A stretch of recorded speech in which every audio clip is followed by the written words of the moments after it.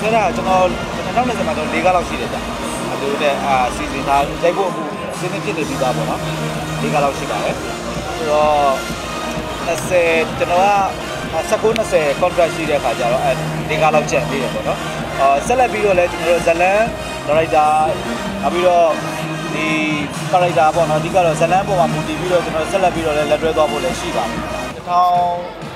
2020ပြီးသွားလို့ရှိရင်တော့ကျွန်တော် အဲကျွန်တော်တို့ရိုက်ခဲ့တဲ့တခြားကုမ္ပဏီတွေနဲ့လည်းပြန်ပြီးတော့အဲကျွန်တော်ရိုက်ဖို့စီစဉ်ထားရလည်းရှိတယ်ပေါ့နော်အဓိကတော့ဟိုဟို over debate ရတော့အဓိကတော့မဟုတ်ပါဘူးဇလန်တွေအဲပရိသတ်တွေအပေါ်မှာကျွန်တော်တို့အကောင်းဆုံးတင်ဆက်နိုင်မဲ့အဲ production တွေနဲ့အများအားကျွန်တော်လက်တွဲသွားမှာပေါ့နော်အဲ့လိုမျိုးတော့ရှိပါတယ်ဗျအဲကျွန်တော်တို့စီမှာလေဘယ်လိုဘယ်လိုဖြစ်နေလဲဆိုတော့လေအခုက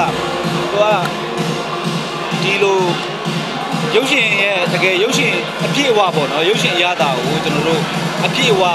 ခံစားရမယ်ပြီးတော့နိုင်ငံတကာကိုလည်းကျွန်တော်မိနိုင်တဲ့ quality ပေါ့နော်ဖြစ်ဖို့ဆိုလို့ရှိရင်တော့အဲ့ဝန်းကျင်ရတာအနည်းဆုံး budget ပါပဲအနည်းဆုံး budget ပါ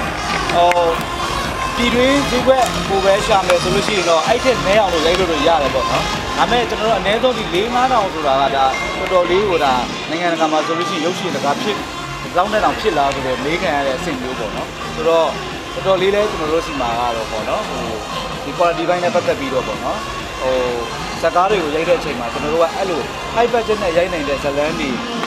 ဟိုပို့ပြီးတော့ရိုက်လာဖို့လည်းလိုတယ်ပေါ့အဓိကတော့ quality ဘိုင်းပေါ့နော် quality ဘိုင်းကကျွန်တော်တို့တကားချင်းအကြီးတဲ့အချိန်မှာမသိတာပဲမဲ့ဟိုကားတွေရှင်ကြည့်လာတဲ့အချိန်မှာတော့သိတာလေဆိုတော့ budget ဟိုဟို budget များတိုင်းရုပ်ရှင်ကောင်းတာတော့မဟုတ်ဘူးပေါ့နော်ဒါမဲ့လည်းကျွန်တော်တို့ quality ကို standard တစ်ခုအနေနဲ့ထိန်းသိမ်းဖို့တော့လိုတယ်လို့မြင်ပါတယ်